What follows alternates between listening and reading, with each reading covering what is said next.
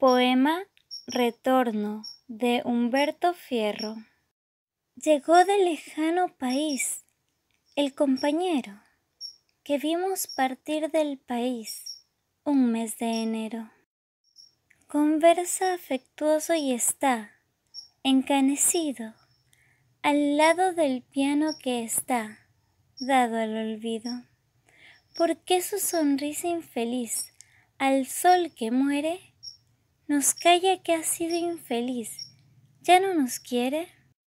El viento deshoja el jardín, hoy mustio y viejo, y él ve amarillar el jardín en el espejo.